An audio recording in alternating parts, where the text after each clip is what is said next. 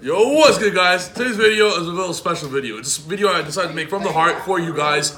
Uh, lately, I've been doing some crazy combo videos. You know, a lot of combos that are difficult for the normal Yu-Gi-Oh player to do. Combos that are better for the pro players out there that've been playing the deck for a long time. This video is a little different. It is a budget, noob-friendly pendulum deck budget, new friendly pendulum deck. And you guys that just picked up the deck, and you guys that just support me because you, you, you, love my content, whatever, ready to start playing pendulums, this deck's for you. I made it for you guys to make sure that deck is under, like, uh, literally, the deck's literally under $100. dollars. I even, uh, on another note, I even talked to my sponsor about it, and we decided to make a whole new feature on his website where we're going to be selling this deck, this exact same budget list, for literally $85 or $80. And it's $80 because after tax and after shipping and all that stuff, it's guaranteed to be under 100 So after shipping, after tax, it's under $100 for a main extra, main, main and extra, like, that's insane. For a tier 1 deck, that's absolutely insane. So a big shout out to my sponsor who like, he valued the price like crazy to make sure we do it. But the whole deck, after tax, shipping, everything, under, 100 bucks, it's insane. So I made this for you guys. Uh, true budget, truly budget pendulum deck that still puts up four negates every turn, four five negates every single turn with follow-ups and everything. They'll destroy every single deck. So I'm to showcase you guys right now. It took me a long time to build it for this cheap, but perfect tier 1 pendulum deck under $100. Let's get into it. So you obviously still play the turbo cards because they're absolutely insane. Obviously, they're still absolutely insane. And it's a 40 card deck. It's a 40 card deck. So the chances of drawing these turbo cards are even higher than in the 60 card deck. But you got to play these 12, obviously. Next, you play two Jackal in this new variant. And again, I'm also to be talking about, I'm to be doing videos. I'm to be featuring this list a lot for you guys, man. A lot. I'm to be sure you guys showcasing you guys how to play, how to utilize the Jackals properly, how to utilize Abductor properly, where you always get the free add-on Abductor. Lots of small ideas here, but I'm to showcase you guys later how to really utilize this. In another video, how to really play budget pendulums properly for those people that don't know how to play. This video is straight up for the people that don't know how to play pendulums, uh, so you guys actually know how to do it and know how to put up 4 5 negates all the time. A lot of people say pendulums suck, but they don't suck. The players suck. Like, it's not on the deck. The deck itself is incredible. But with a little bit of help, uh, everyone will start destroying people and destroying, starting destroying Thunder Dragons, everything. Next, this is more so for new friendly. A lot of issues with uh, Pendulum decks right now is after you get hand trapped, you don't have scales. So if you're playing a pro version, I recommend one Wisdom Mine. But three ensures uh, that you always have scales, so I recommend it for the more so budget player. But it's still incredible, regardless. Even it's not just budget; it's like budget, uh, budget asterisk still super competitive. Like it's super super competitive, uh, regardless. Like all these cards are essential. So far, you know this is what a normal pendulum deck looks like. There's a few tweaks to make it more budget, taking out a few cards and the main and extra, uh, like to make it like so cheap, where you get the whole deck for under 100 bucks, like under 80 bucks, literally. But after shipping and tax, like under 95 or something, 90, who knows? But Next, two worm, one zero. I would played three and two, but it's fine. Two and one's all you need. We're trying to cut to 40 cards to still give an actual game plan for the deck. Next, five pendulum calls. I play way more, uh, six guaranteed no 60, but five is perfect for 40. Don't play four. Five is the perfect number. Pendulum calls the best card in the deck. And uh, again, like I said, if you're playing these eight, ensure that you always have scales. So no matter what, draw one of these eight, you're almost guaranteed to have scales. So uh, it just ensures you always have scales, and scales is the biggest issue for noobs, especially. I'll be explaining more in the future how uh, how to play it as noobs. But I'm gonna go through this fast because after I finish the whole deck, I have even extra lists of an extra 40 card main deck, extra card 50 card side extra deck of extra cards, extra cards to show you guys uh, just to show more options for the noobs and budget players. Next, two shrine, one foolish. It's correct number if you play 40. Right now, it's all 35. Uh, it should be uh, straightforward so far. One thing I took out now is this is a straightforward list so far, the 35. Uh, with as many turbo cards as possible. We uh, took out desires because uh, it is five dollars or something like that. Uh, it's fifteen dollars that might not be necessary. Allure Darknesses are also three dollars, four dollars. There's been a lot of thought in this. Like I'm trying to save every penny for you guys, and every single card so, so far shown in the list is necessary, absolutely necessary. If you don't have Wisdom Eyes, you can play one Wisdom Eye maybe because I think it's a few bucks as well, or even a second Harmonize instead of a third because I think those are a few bucks as well. But I'm taking everything into uh, idea here to make it as budget and cheap for you guys to possibly buy uh, as possible. It's also why I told my sponsor, like, yo, give them a, a great deal. And I'm, I'm not making any money off this. It's literally just for you guys. Because I know a lot of you guys can't play competitively. But if you spend like 80, 90 bucks, like that's like one day, of, like that's like half a day of work, one day of work, and you get a whole a competitive pendulum deck to destroy people at your locals. Next, there's a new game plan. So with a budget list, you're not available. There's a lot of stuff that aren't available to you. There's a lot of stuff that aren't available to you to, if you're playing a budget list. You can't go Borreload, you can't go Borrelsword, you can't go Knightmare Unicorn, uh, you can't do a whole bunch of crazy plays with your extra deck. So there's a whole simple game plan. It's called Fogblade.deck. Fogblades are incredible. They do not break. I want to see a Trap in hand. I want to see a Trap in hand. What happens when your Electrum gets uh, impermanence or something? What happens when you get hand trapped two? What happens when you get hand trapped twice? You have a fog blade and a pen harmonizing. You know what I mean? Like you pen two for extra, you get one rank four, one fog blade through two hand traps. Like these help you play through hand traps. They give you guaranteed negates no matter what. Drawing one is good. And the reason why we play three, let's say you don't draw one, or let's say you do draw one, let's say you draw fog blade. Or, sorry, no, no, let's say you don't draw any. Just for example, you end up setting double fog blade, getting rid of one boots, and next turn you get another free fog blade next turn, right? And the common versions of these cards are like two cents. Like it's incredibly cheap and the most easy, simple way, especially for noobs, to get out negates. Uh, linking into uh, Rusty is very simple and easy. Uh, it makes it more easy for you guys to play. Uh, so in my version, even my real life version, even my, my 60 card version, I play 3 and 2. I play Cloak as well. These cards are incredible in the deck. This is like Rusty is so good that if people still don't realize how good Rusty is. That card's one of the most broken cards I've ever read. It's absolutely busted. I fell in love with it the second I read the card. The card's broken. So the game plan is simple. Uh, it's it just Every single turn, you're gonna go two spell trap negates. It's very simple to do. I'll explain you guys how to do it with two fog blades. And if you draw a Jackal, you get a fifth negate. Next turn, next turn, you get a free fog blade after. They're gonna have trouble enough getting rid of but you get a free fog blade the second turn as well. The grind game's included here as well. And again, budget. Budget. That's a special word for today.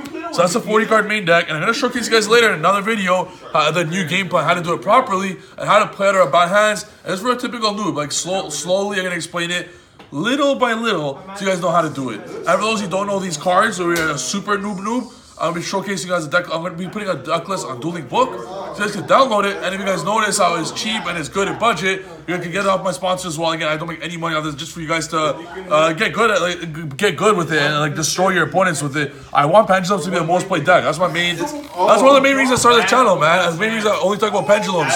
And so uh, people can realize the power of Pendulum and play it more often. I want Pendulum to conquer the world. I want regionals to be top 8 Pendulum. All Pendulums. Uh, YCS, I want th- uh, top 82, I want 10 of the Pendulums. And it should be. It is the best deck. I'm not talking crap when I say it is the best deck. But not enough people want to play it. So that's what I'm trying to bring to you guys now. I'm, I'm a man for the people. I'm a man for the people. Next, uh, extra deck, Electrum Underclock Rusty. It's the whole combo. Uh, you don't need Metaltron whatsoever because the whole combo you just bring on Rusty. So there's no reason for Metaltron. One of each Knightmare. We don't play Unicorn because it's a budget build. If you have Unicorn Fantastic, play it. Fantastic against Thunder Dragons, but budget list. Next, Dweller Tornado. You don't play Borrelswords. That's another thing. The most, the 16th, the number one card I would play 100% if you can afford is Boros, Borreload. Because it's only, oh, how much is Borreload, bro? 25 Canadian. Like 25 CAD. That's like 15, 20 USD.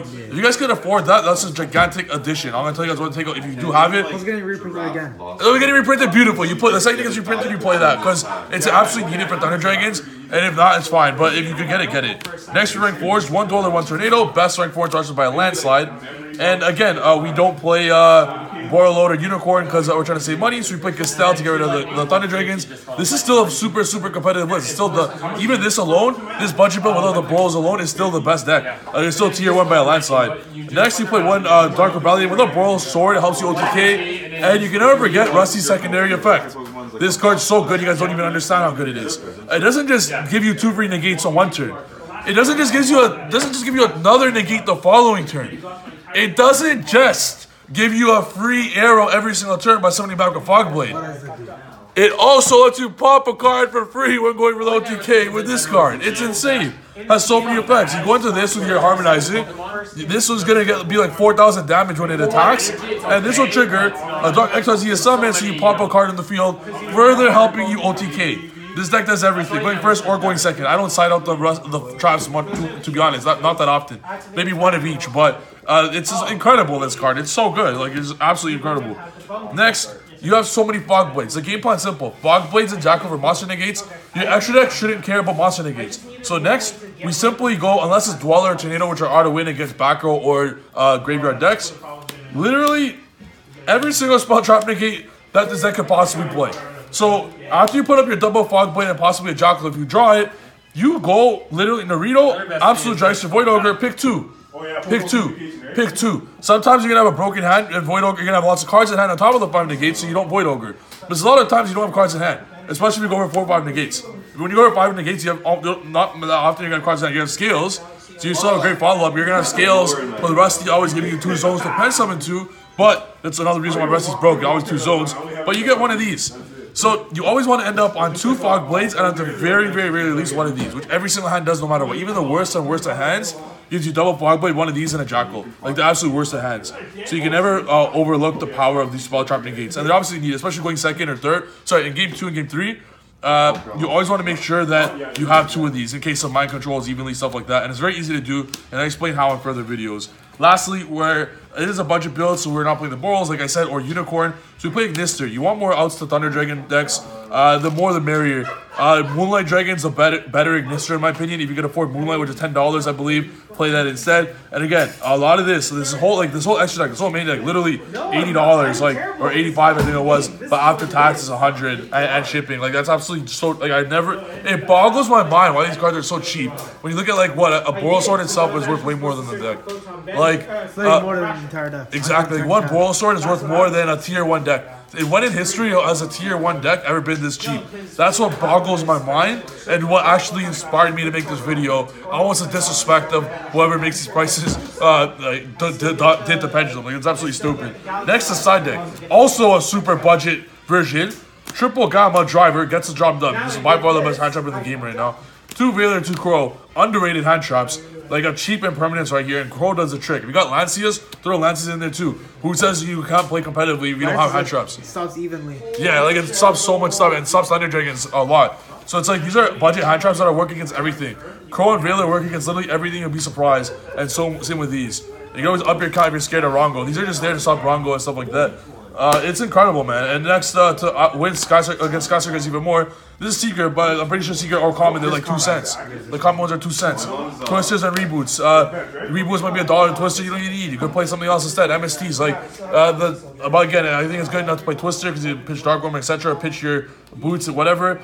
This whole side deck again, twenty bucks tops, not even. Like it's incredibly budget. Uh, one Ghost Ogre is worth more than this entire side deck. Like you don't gotta, uh, you don't gotta pay to win. You don't gotta pay to win. You gotta subscribe to win. You gotta subscribe to win. that's what you gotta do. That's what we do here, boys. Uh, once upon a time, I was a budget player as well, but Me now too. all of us were. All of us were. All of but Game Nation was at one point. all of us were. But at the end of the day, that's why I make I make this channel for you guys to make it easier for you guys to play. You also gotta start somewhere. I play Raid Raptors. Guys, I want you guys to win your events. I don't. I'm not making this build for personal gain. I'm making this so you guys can top events and win. I want to see pendulums everywhere. Where there's a little selfishness in there. I want to see pendulums conquer the world, the Yu-Gi-Oh world, and it will. Just follow this build. Links will be in the description, guys, for the download link to the link books. You can test it out, and the download link to uh, message me on Facebook if you guys want. Message my sponsor. The whole deck's under 100 bucks, so let me know if you guys want that. And before we end the video, on a very fast note, there's literally a bonus for you guys that's been here for the, the whole video so far. I have 40 cards that are my I take out in and out out of the deck, and 15 extra deck cards that if you have a little few extra bucks, if you want to sp- uh, spit out to throw in your deck, if you already have the cards. So we're gonna go by these super fast because I want to show you guys all the options. Because again, it is budget, so obviously there's cards we want to take we took out because they're too expensive. Desire is a lure upstart. They're all the staples that are worth a few extra bucks that I don't want you guys to buy for no reason if you don't need to play them. So they're not necessary, but if you have them, play them. I'll showcase you guys later. Like, uh, me- privately message me if you're curious on if you if you ever if you have these cards already and want to throw them into your budget build already. Let me know and I'll tell you guys what to take in and out.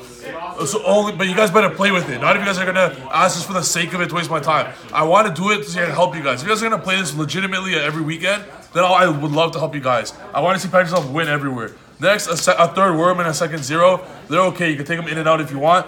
A second Old Dragon, a third Shrine, third Alliance. They're all options. If you want to throw in and out, they're good. If you want to play one of these instead, they're totally fine as well. Next is the Yazi package, uh, where you play five Ravines. Uh, I recommend this only for 60 cards. Mirror Mirror, Cloak, and Destrudo. Cloak allows Rusty to give you a free Dragster because after you Rusty, you get Bandage Cloak, get Boots, and especially the Destrudo, and you get a free Dragster because you get the free Cloak on field, or so you get the free Boots on field. And uh, the extra deck package uh, with this would be uh, Yazi for sure, Linkuriboh, uh, guaranteed with the Knightmares, and if you can afford it, uh, Unicorn and uh, Borreload and a Borrelsword. So Borrelsword itself, I'm, bo- I'm borrowing Borrelsword, so even I don't have Borrelsword right now. Like it's okay. I'm borrowing Borrelsword from friends, and I give it back for a little. But Boral Load, Borrelsword are incredible with Yazi. Now the number one card I recommend to shell out, if you guys could possibly afford it, would be Three Desires and Boral, Borreload. I highly recommend playing them in your deck. If you can afford a Borreload and a Three Desires, throw them in your deck. I was trying to cut the deck under 100 bucks guaranteed. You're still very, very good without it, but it just will make it even, even better. Uh, next, uh, other cards you can play is Black Fang. Uh, it's okay, but it's like not really not necessary whatsoever. Uh, next, uh, we have a Nappies package. We're gonna be showcasing a lot in the channel soon. Where uh, even without your normal, even like if you could, you could make Nappies every single turn, literally. This gives you another option for pen call, and you simply just, even without making Electrum, even without making Electrum, you simply just pen a Harmonizing and a Dragon Pulse, uh, King of the Feral, and any other card, King of the Feral Imps, Palomaro, and Nappies. It's that simple. Like, even without Electrum, you can do it. Every single turn at leads to Nappies, so you play these. And it's good for a side deck. There's more options for you guys if you want to play. Next is Zephyr Engine. Uh, it- sometimes drawing into these are hard for the noob to play out of, so I didn't put this in the deck.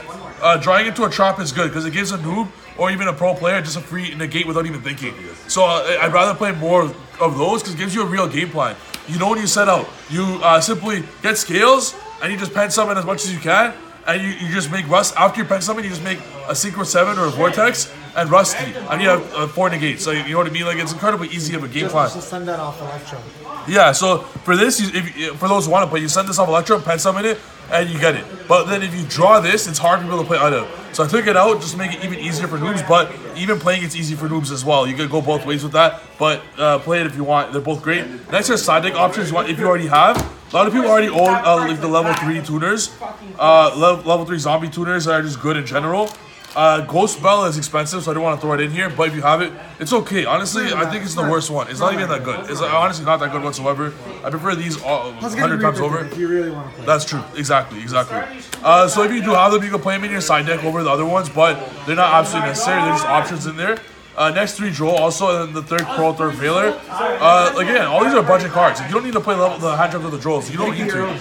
You can make your own. Like there's just so, so many options out there for you guys. If you're ever confused on what to play, it's just a little bonus. Like don't actually play these cards. Last 40 cards I'm showing you because they're bonus. And the third reboot is another way. And then extra, extra, extra deck cards. If you want to play, just more rank fours that are good. The all these three trigger uh, uh, Rusty. Just more Dark Spuck, Dark, Dark XYZs you want to play just in case. And then Moonlight if you can afford it because it's better than Ignister. Clear Wing if you want, but again, not that necessary. And then it's Holding for the cherries. Metaltron uh, and Lafragas are just other generic links, but you don't need them because Rusty is. Uh, ne- everyone must play Rusty. It's not uh, not debatable. It's completely not debatable. If you're not playing Rusty pe- and Pendulums, you're an absolute idiot. Like it's not debatable. It's like not playing Engage and Sky Strikers. You're an absolute moron if you don't play. It's literally like not playing. Literally like not playing Electro. That's how much of a disadvantage you're playing. It's like you're purposely neutering yourself. It's like you're purposely, it's like you purposely see a 9 out of 10 girl in the street and a 3 out of 10 girl. And purposely saying, hey, 9 out of 10 girl, I don't want to sleep with you today, so I'm going to sleep with a 3 out of 10 girl instead. For absolutely no reason, I just feel like it. That's literally the equivalent of what you're doing here by not playing the de- by not playing Rusty. So play Rusty. These two are decent, but not that good. But they're there anyways. Guys, that's the video. I showcase every option you possibly can. Uh, you guys better be playing this. Honestly, I've been be featuring Budget Pensions a lot. Uh, per your request, you guys been asking for it. I'm be showcasing a lot more. I'm gonna be featuring it more. I'm gonna be doing duels with Budget Pendulums, with a Borrelsword, stuff like that. I'm gonna be doing uh, how to play around with traps with of Pendulums, do game plan Budget Pendulums, everything. Maybe you're gonna enter, like, I'm gonna call a bunch of friends over, like, know, 16 man tournament at my house. This is a showcase, guys. This is gonna win. That's the video. Hope you guys like it. Make sure to subscribe. See you guys next video. Peace.